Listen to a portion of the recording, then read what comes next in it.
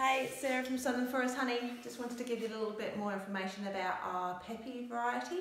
So this is quite an interesting honey to which we gather from apiaries closer to the coast um, in, in southwest WA.